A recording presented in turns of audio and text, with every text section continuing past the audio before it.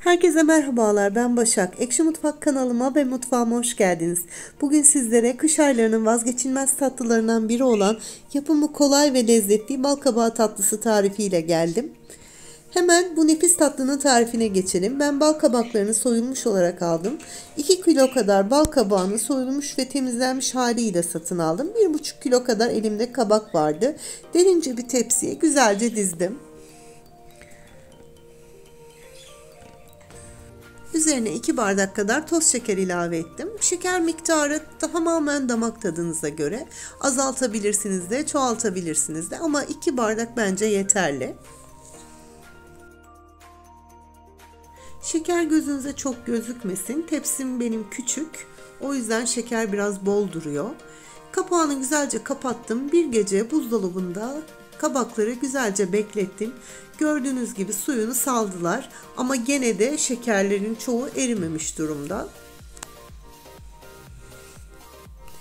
Üzerine bir bardaktan biraz fazla su ilave ettim ve ocağın orta gözünde 15-20 dakika kadar kısık ateşte şeker iyice eriyip ve kıvam alana kadar bal kabaklarını pişirdim. Bu arada çekmeyi unutmuşum. Çeyrek limon suyu da ilave ettim.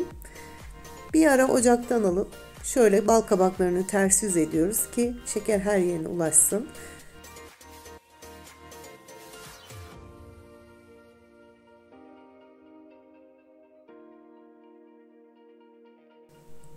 Bal kabakları güzelce pişti. Şekerini içine iyice çekti. Şerbette güzelce kıvam aldı. Gördüğünüz gibi gayet lokum gibi bir tatlı oldu. Şimdi sırada fırında pişirme aşamasına geldi.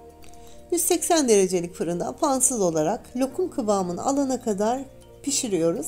Gördüğünüz gibi ilave koyduğum sudan eser kalmadı. Şimdi bu lezzetli tatlıyı tatma zamanı.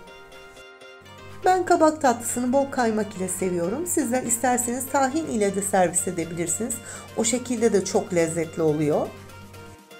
Bu lezzetli tatlıyı yapıp yiyenlere şimdiden afiyet olsun.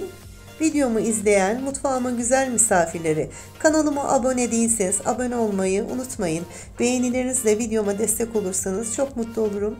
Şimdiden hepinize ayrı ayrı teşekkürler.